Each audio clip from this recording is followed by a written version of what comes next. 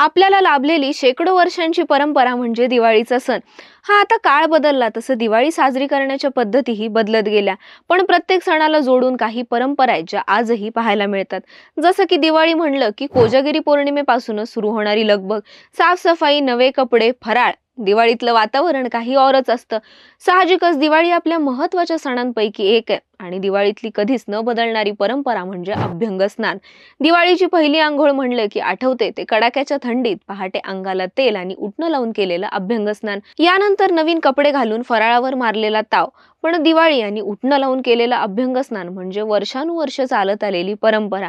पण दिवाळीत उठणं लावून का आंघोळ केली जाते? दिवाळी आणि उठण्याचं नेमकं समीकरण काय आहे जाणून घेऊयात या व्हिडिओतून.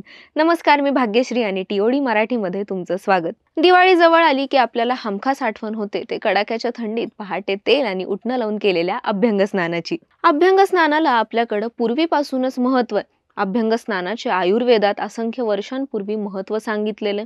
चला तर मग सगळ्यात आधी जाणून घेऊयात अभ्यंग स्नानाचं महत्त्व अभ्यंग स्नान हे दिवाळीतल्या चार दिवसांपैकी नरक चतुर्दशीच्या दिवशी लक्ष्मी पूजनाला आणि बलिप्रतिपदेला म्हणजेच पाडव्याला केलं जातं. हे स्नान शक्यतो ब्राह्म मुहूर्तावर म्हणजेच पहाटे लवकर उठून साडेचारपासून ते सकाळी सातच्या दरम्यान केलं जातं. पण या वेळात वातावरणात वात जास्त प्रमाणात असतो. शिवाय आपल्या शरीरातही वाताचं प्रमाण त्यावेळी जास्त असतं. त्यामुळे अशा वेळेस अभ्यंग स्नान केल्यानं शरीराला जास्त फायदे होतात.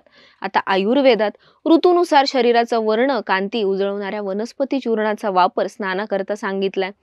थंडीची सुरुवात झाली की त्वचा वृक्ष आणि कोरडी होते. त्यानुसार तेलानं मालिश करणं व उठण्यानं स्नान करणं फायदेशीर ठरतं. आता अभ्यंग स्नान करताना अंगाला लावायचं तेल प्रांतानुसार आणि तिथल्या स्थानिक हवामानानुसार बदलतं.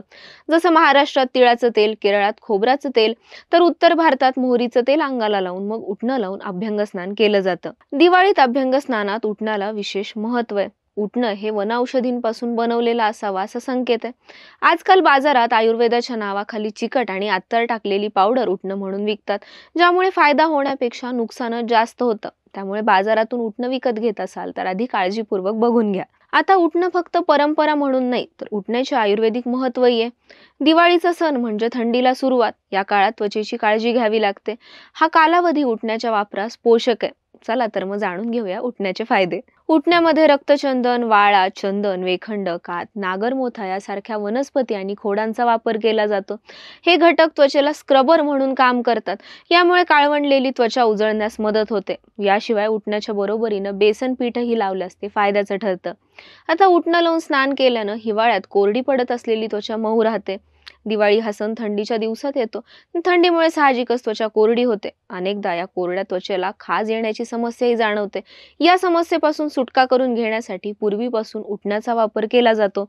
उठण्यामधल्या आयुर्वेदिक घटकांमुळे त्वचेचा कोरडेपणा कमी होऊन ती मुलायम होण्यास मदत होते. त्यामुळे दिवाळीशिवायही इतर दिवशी विशेषतः थंडीच्या दिवसात आठवड्यातून एकदा तरी उठण्याचा वापर जरूर करावा. आता वयानुसार त्वचेला येणाऱ्या सुरकुत्या वाढतात. उठण्यामुळे सुरकुत्या पडण्याचं प्रमाणही कमी होतं.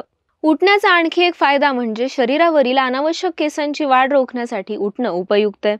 चेहऱ्यावरील किंवा हातापायावरील केस जास्त वाढू नये त्यासाठी लहानपणी बाळाला आंघोळ घालताना मसुरीच्या डाळीचं पीठ किंवा हरभरा डाळीचं पीठ लावलं जायचं.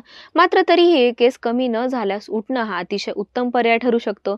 उठणं लावून गोलाकार पद्धतीने स्क्रब केल्यास शरीरावरच्या अनावश्यक केसांची वाढ थांबण्यास मदत होते. त्याचबरोबर शरीराला उठणं लावण्याचं वैद्यकीय महत्वही आहे. त्याबद्दलही सांगते. शरीराची कांती तजेलदार व्हावी स्नायू बलवान व्हावे आणि पुष्ट व्हावे त्यासाठी उठणं लावून अभ्यंग स्नान केलं जातं. आता अभ्यंग स्नान हे केवळ दिवाळीच्या दिवशी करू नये तर त्या दिवसापासून सुरुवात करून ते वर्षभर रोज करावं असं आयुर्वेदातील तज्ज्ञ सांगतात.